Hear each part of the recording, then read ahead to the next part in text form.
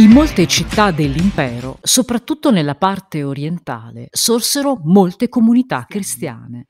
All'inizio esse erano indipendenti le une dalle altre, senza collegamenti tra loro e senza che esistesse un'autorità al loro interno. Queste comunità presero il nome di chiese, dal greco ecclesia, cioè riunione di fedeli o luogo di culto. I fedeli che ne facevano parte mettevano in comune i propri beni e davano assistenza e conforto ai poveri. A capo delle chiese c'era un consiglio di anziani, i presbiteri, parola che in seguito indicò le persone investite della dignità sacerdotale o preti. Essi erano dediti al culto, alle pratiche liturgiche, alla predicazione. I presbiteri erano coadiuvati dai diaconi che svolgevano attività amministrative e assistenziali. Nella seconda metà del III secolo d.C., con la diffusione sempre più massiccia e capillare del cristianesimo, le comunità in origine autonome formarono raggruppamenti di comunità vicine, le diocesi. A capo della diocesi c'era il vescovo. Inizialmente incaricato di mantenere i contatti con gli apostoli, il vescovo ne divenne presto l'erede e successore. Egli aveva il compito di trasmettere il messaggio cristiano, di custodire la fede, di amministrare il battesimo. Nel III secolo d.C. il cristianesimo era ormai diventata una realtà importante e significativa per almeno tre motivi. A differenza dell'ebraismo, che era una religione nazionale, il cristianesimo si presentava come una religione universale, rivolta a tutte le genti, e a tutti i popoli allora conosciuti. La nuova religione rispondeva al bisogno di credere in una resurrezione dopo la morte, in una vita eterna. Il cristianesimo predicava l'amore verso gli altri, l'uguaglianza di tutti gli uomini dinanzi a Dio.